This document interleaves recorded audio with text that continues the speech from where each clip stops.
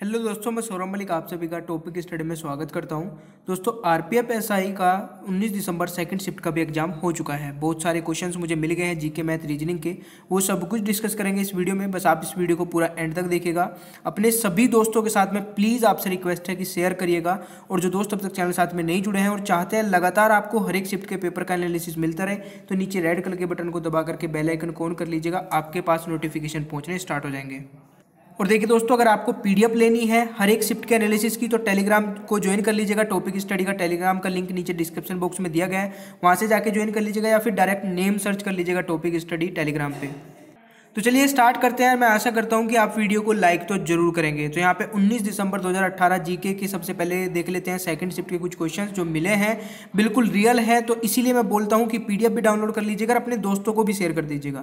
तो यहाँ पे पहला क्वेश्चन है पंद्रहवें वित्तीय आयोग के अध्यक्ष कौन है? एन के सिंह ये आपका question I think first shift में भी पूछा गया था। तो इसलिए मैं बोल रहा हूँ, हर एक शिफ्ट के एनालिसिस को भी देखते रहिए और उनसे रिलेटेड जो भी पॉइंट है, उनको ज़रूर पढ़ लीजिएगा, क्योंकि आगे आने वाली शिफ्ट में आपके वही पॉइंट रिपीट होने वाले हैं। और यहाँ पे सबसे बड़ी और जो मेन बात है, वो ये है कि आपका स्टेटिक जी के ज़्यादा पूछी जा रही है करंट अफेयर नहीं पूछी जा रही है और आपका यहाँ पे साइंस का पोर्शन भी बहुत ही कम पूछा जा रहा है, ठीक है?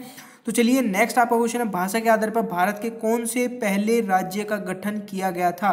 तो आंध्र प्रदेश यहाँ पे राइट आंसर हो जाएगा।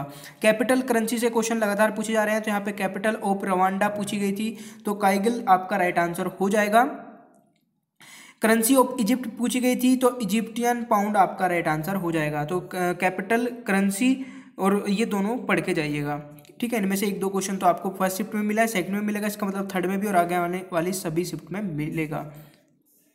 नेक्स्ट आपका क्वेश्चन है what is the U sorry I U P A C name of formic acid तो H C double O H आपका राइट right आंसर हो जाएगा। ये भी आपका क्वेश्चन पूछा गया था। नील नदी किस देश से निकलती है? तो नील नदी सबसे बड़ी नदी है और ये इजिप्ट देश से निकलती है। ये क्वेश्चन आपका पूछा गया था। ठीक है भाई? देखिए, सबसे ज़्यादा क्वेश्चन जो आपके पूछे जा रहे हैं वो पॉलिटी से मेरे को लग रहे हैं पॉलिटी और ज्योग्राफी से और हिस्ट्री से भी। तो यहाँ पे क्वेश्चन ज़्यादा पूछे जा रहे हैं तो इन इन पे ज़्यादा फोकस दीजिएगा। लोकसभा का कार्यकाल कितना होता है? सॉरी इससे पहले था, थेलियम का परमाणु क्रमांक क्या है? ये आप मुझे कमेंट बॉक्स में बताइएगा। ये क्वेश्चन पूछा गया था। लोकसभा का कार्यकाल कितना होता है? पाँच वर्ष, ये भी आपका पूछा गया था। राष्ट्रपति बनने के लिए मिनिमम एज कितनी होती है? तो ट्वेंटी फाइव ईयर ये आपका पूछा गया था। ठीक है भाई? और नेक्स्ट आपका लोकसभा में कितनी सीटें होती हैं? तो पाँच सौ बावन टोटल सीटें होती हैं, जो कि अभी करंटली कितनी है? 545 ठीक है? तो ये भी आपसे पूछा जा सकता है। यानी कि करंटली का मतलब है कि अभी जितनी सीटें यहाँ पे गवर्नमेंट में हैं, ठीक है ना? तो राष्ट्रीय जनसंख्या नीति कब बनी थी? ये 2000 में बनी थी। ये आपका क्वेश्चन पूछा गया था। कैक की नियुक्ति कौन करता है? तो capital auditor general of India की नियुक्ति आपका राष्ट्रपति करता है। ये क्वेश्चन आपका पूछा गया था। ठीक है भाई? नेक्स्ट आपका कैपिटल ऑफ़ त्रिपुरा पूछी गई थी तो अगरतला आपका राइट आंसर हो जाएगा। ठीक है? एक था, मसौदा कमेटी के अध्यक्ष कौन थे? तो बी आर अंबेडकर आपका राइट आंसर हो जाएगा। ये क्वेश्चन भी आपका पूछा गया था। एक था, यहाँ पे करील की खाई। करील आई थिंक करील की खाई पूछा गया था। करील की खाई किस महासागर में स्थित है? दक्षिण महासागर आपका राइट आंसर हो जाएगा। नेक्स्ट आपका क्वेश्चन है जो, वो है कि कांग्रेस पार्टी की पहली महिला अध्यक्ष तो यहाँ पे देखिए, कांग्रेस पार्टी की जो स्थापना हुई थी उन्नीस सॉरी अट्ठारह ईस्वी में हुई थी और यहाँ पे जो पहली महिला अध्यक्ष बनी थी वो थी सरोजनी नायडू। इसका राइट आंसर हो जाएगा। ये क्वेश्चन आपका पूछा गया था। तो आप ये देखिए कि कहाँ से क्वेश्चन पूछे जा रहे हैं और उनको ज़रूर पढ़ने की कोशिश करिए, जितना हो सके। ठीक है? जैसे अध्यक्ष पूछे जा रहे हैं तो आप कॉन्स्टिट्यूशन से रिलेटेड कुछ चीज़ें पढ़िए। ठीक है कॉन्स्टिट्यूशन से रिलेटेड पॉलिटी से में जितनी भी इंपॉर्टेंट चीज़ें आपकी, राष्ट्रपति हो गया पीएम हो गया, ठीक है, इनसे रिलेटेड चीज़ें पढ़िए और आपके सागर पढ़िए, जितने भी हैं पार्टी से रिलेटेड पूछा जा रहा है तो बीजेपी के बारे में थोड़ा बहुत पढ़िए, आज कांग्रेस पूछा गया, कल बीजेपी के बारे में पूछा जा सकता है। तो ये चीज़ें मतलब आप रिलेट करके पढ़ेंगे तो आपको बहुत फ़ायदा मिलेगा एनालिसिस का। यहाँ पे पीआईएल की फुल फॉर्म पूछी गई है तो पब्लिक इंटरेस्ट लिटिगेशन इसका राइट आंसर बन जाएगा।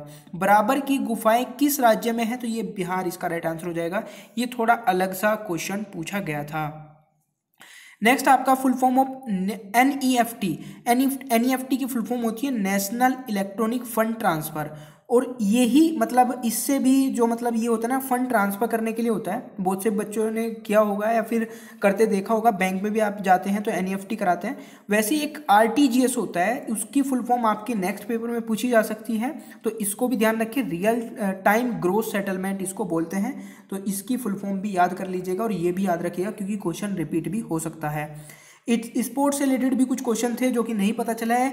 करंट से आपके क्वेश्चन बहुत कम पूछे जा रहे हैं और जो पूछे भी जा रहे हैं वो बहुत ही बिल्कुल नई करंट पूछी जा रही है जो बिल्कुल रिसेंट है। जैसे कि आपका ग्रुप डी और ए में बहुत पुरानी पुरानी करंट अफेयर पूछी जा रही थी यहाँ पे ऐसा कुछ भी देखने को नहीं मिल रहा है। फिर साइंस की अगर बात की जाए जैसे ग्रुप डी और ए में बहुत सारे आ, मतलब साइंस के क्वेश्चन पूछे जाते थे बट यहाँ पे साइंस के क्वेश्चन भी ज़्यादा मात्रा में नहीं पूछे जा रहे हैं। तो ये तो था जीके का पोर्सन अभी चलते हैं रीजनिंग पे।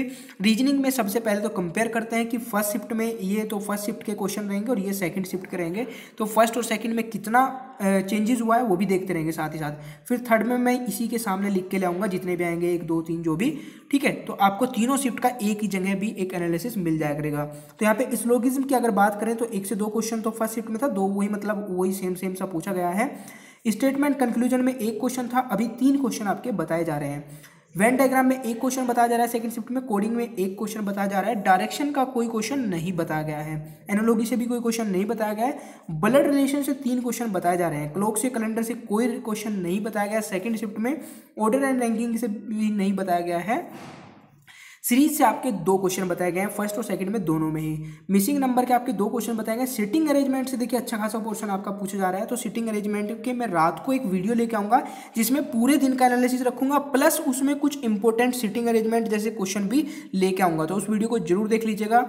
और यहाँ पे फिगर काउंटिंग के क्वेश्चन आपके तीन है और वन आउट से भी आपका एक क्वेश्चन है, ठीक है भाई? और डाइस से यहाँ पे एक क्वेश्चन था फ़र्स्ट शिफ्ट में, अभी कोई क्वेश्चन नहीं पूछा गया। आई थिंक ये सेकंड शिफ्ट में पूछा गया फ़र्स्ट शिफ्ट में डाइस का कोई क्वेश्चन नहीं था।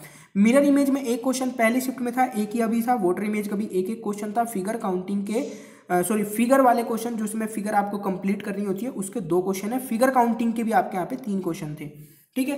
तो अभी कुछ क्वेश्चंस के बारे में बात कर लेते हैं। एक तो आपका ये नंबर्स ऑफ़ ट्रेंगल यहाँ पे पूछा गया था। कुछ इस तरीके की फिगर दी गई थी, जिसमें आपको पता है कि कैसे काउंट करते हैं। मान लीजिए आपको ये वाला निकालना होता तो इसको कैसे करते हैं आप? वन टू थ्री फोर और फोर की मल्टीप्लाई टू पे कर देते तो एट हो जाता। बट अब ये दोनों को मिला दिया गया है तो इसमें क्या होगा? एट इसमें होंगे एट इसमें होंगे। ठीक है? देखिए वन टू थ्री फोर और फोर की मल्टीप्लाई टू में कर दी, ये तो आप सभी को पता होगा।